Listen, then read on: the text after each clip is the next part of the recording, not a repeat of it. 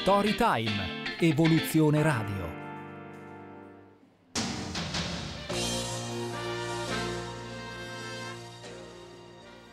Bentrovati amici e amici di Storytime, un carissimo saluto da Gianluca Losco, sempre qui su Radio Italia 5 per proporvi nuove storie, nuove attività da scoprire.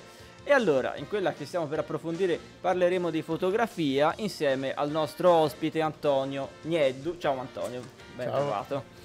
Allora Antonio, raccontaci un po' come ti sei avvicinato al mondo della fotografia e quando è nata appunto questa passione. Allora, la mia storia inizia quando avevo tre anni. Ah, benissimo. Ho avuto la prima macchina fotografica all'epoca a pellicola, in Certo. regalo dai miei. Un padre fotografo e mamma appassionata di arte e musei, quindi a tre anni ero in giro per Uffizi, a nove per le biennali Certo. o altro. E mi hanno cresciuto così.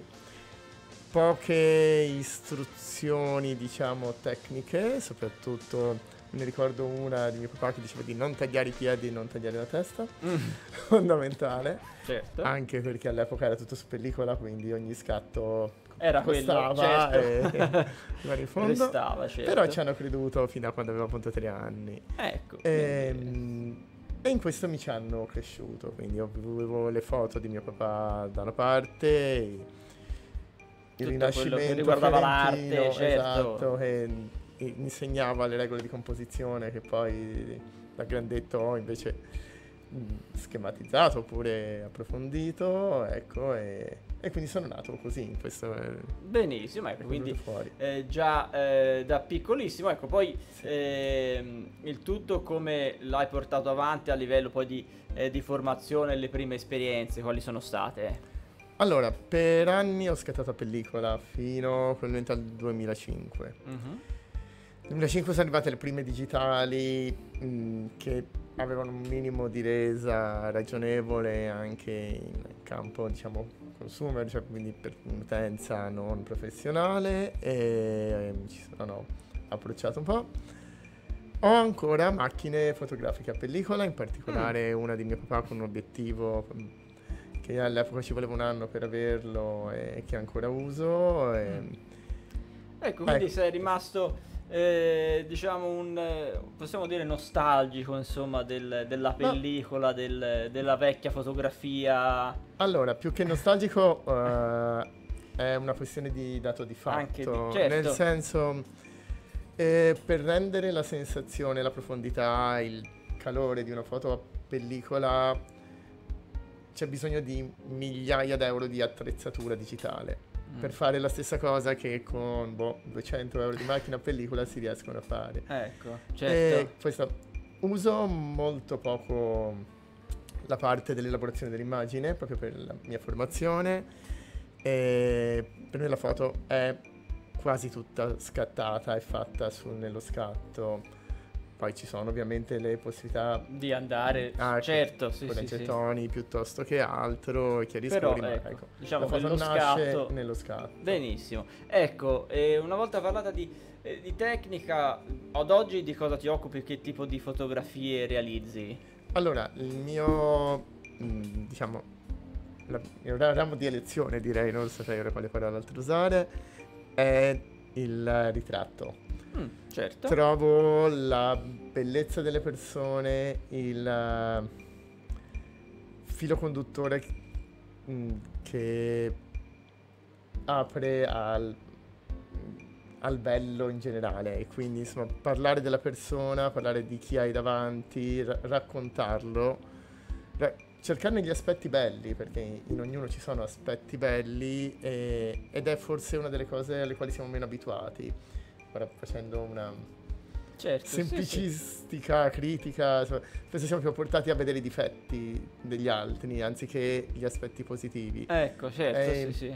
E mi ricordo che anni fa, proprio quando invece iniziai a farne di un hobby una professione, trovai una frase dove di questo fotografo che non ricordo purtroppo il nome, e diceva appunto che eh, non esistono persone non fotogeniche, solo fotografi non bravi. All'epoca, nella- dall'alto della mia presunzione di chi non sapeva niente, dicevo "No, assolutamente no, No, esistono ecco. persone non fotogeniche. E E invece invece- esistono solo fotografi che devono imparare chi hanno davanti. Eh, Ecco, questo- benissimo, ecco questo insomma eh, per esprimere ottimamente il concetto. Io intanto invito i nostri amici all'ascolto a visitare il sito antoniolnero.com e Antonio Nero su Instagram, invece Antonio Nieddu normalmente Facebook e LinkedIn 342 0558909 Antonio chiocciolantonioilnero.com ecco questo Antonio il Nero è un eh, È una un tra- è- a cosa è dovuto? Mm, Mieddu è il cognome sardo, è nero in Ah, italiano ok, e quindi benissimo. era un gioco nato all'inizio e poi è rimasto e, Certo, e volentieri certo. benissimo, quindi raccogli un po' quello eh, che è il tuo cognome, collegato ovviamente alla tua eh, origine eh, Sì. sarda. Eh, allora, te che hai avuto questa passione, sostanzialmente sei stata trasmessa chiaramente eh, dai tuoi genitori a, a livello poi di professionista, di fotografo, qual è l'aspetto che più ti appassiona, che più ti entusiasma, che eh, più ti piace in sostanza? Allora, guarda, mm, quello che appunto, come dicevo prima, è proprio il raccontare le persone e in questo ho notato una cosa, mm, le persone che lavorano con me, le persone con le quali collaboro da anni, tipo una pianista e, e in particolare mm, della Universal, eh, piuttosto che un insegnante di danza araba di Firenze, Certo. insomma, che mi ricordo. E mm, quello che mi fa piacere e che posso dire a con, con vanto, con orgoglio, Eh, mettiamola certo, così. esatto. eh, Eh beh, è giusto, è giusto, certo. eh, sì. Eh, è proprio vedere che le persone si sentono aiutate e portate a togliere la parte di tensione di rigidità che potrebbe esserci nel loro ritratto. Come guidate? Una volta una, una regista, attrice mi disse una cosa molto bella. Mm. ehm, mi disse tu dovresti essere il mio insegnante di yoga. E io dissi Beh. ma io non ho mai fatto yoga, le risposi.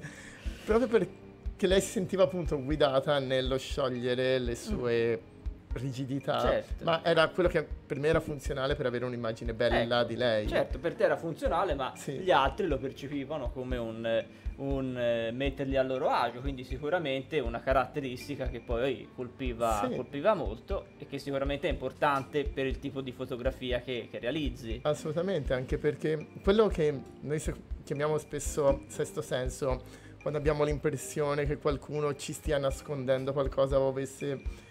Spesso sono delle immagini che la nostra mente vede, tipo delle piccole rigidità, contratture di una spalla, di Mm, un certo. braccio.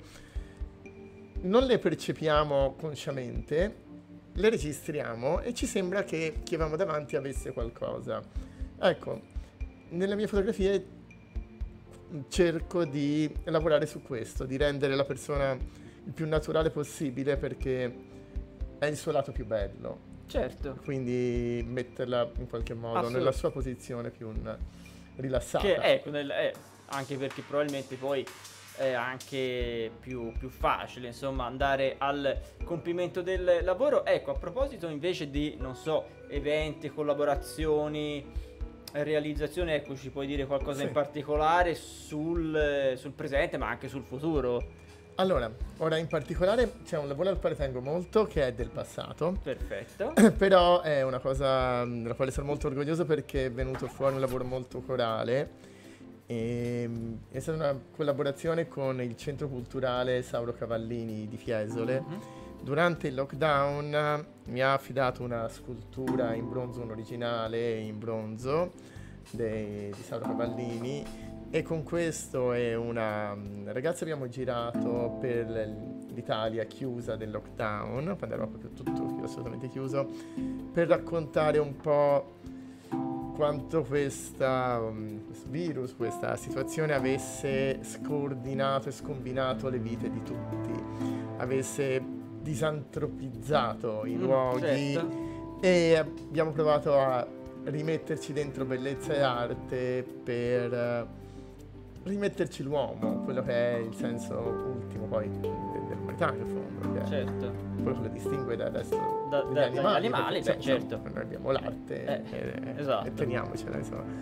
E poi questo è un, una- un viaggio, un racconto dove appunto si parte da Bergamo Alta, dove sono state Mm. dei problemi più grossi, fino a Napoli, e dove c'è la riapertura in San Gregorio Armeno con i musei, con i musei, perdono, con i presepi, e quindi si riapre lì e lì si ritorna alla vita e questa mascherina che viene tolta. Oh, eh, un senso quindi- di liberazione poi ovviamente del Sì. gesto.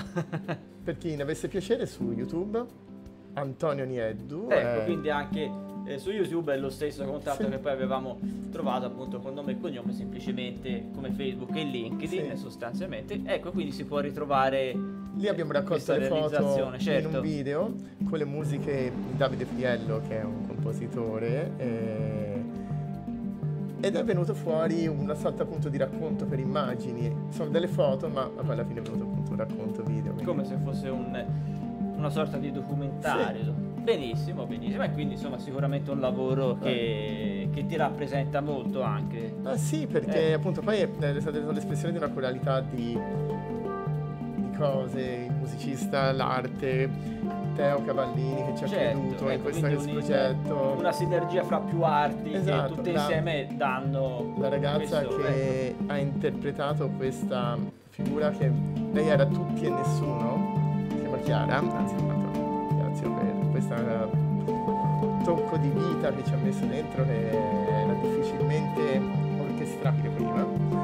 E, ecco, sì, e, e quindi ne sono orgoglioso perché è come se fosse una cosa non mia, ma appunto il risultato di una, corali, una corale. Certo, Mi ecco. fa molto piacere. un, eh, un'opera in concerto appunto fra te e queste altre figure e anche appunto con eh, altri modi di fare arte che hanno collaborato Sì. tutto insieme. Allora, abbiamo ricordato già appunto eh, quelli che sono i contatti sui social, tranne che per Antonio il Nero che è su Instagram, antonionero.com, anche il sito 342 055 8909, antonio chiocciolantonioilnero.com.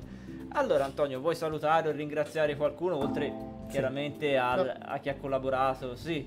E mi sarebbe piaciuto, ora parlavamo prima, mi allaccio alla domanda prima, per il futuro Ah certo, ci Trovare- mi sono dimenticato dell'aspetto esatto, certo. ehm, andrebbe trovato la maniera di fare una cosa del genere mi- in territori ucraini. Mi piacerebbe, Eh, se certo. fosse possibile, un giorno fare un lavoro simile in quei territori là, che insomma, in questa assurdità di anacronistica per non dire altro No, di no, una no, guerra in certo, questo certo. periodo e quindi mi piacerebbe Ecco, quindi un progetto simile dedicato. ri- ecco, riportare alla- a rac- tornare a raccontare bellezza in quei luoghi violentati da questo Benissimo, benissimo. E questo è un progetto che allora chiaramente ti auguro di poter eh, realizzare. Ecco, invece torniamo all'aspetto dei, dei saluti finali, insomma. bene allora ringrazio intanto voi per la- Eh, Figurati, è stata chiacchierata una grandissima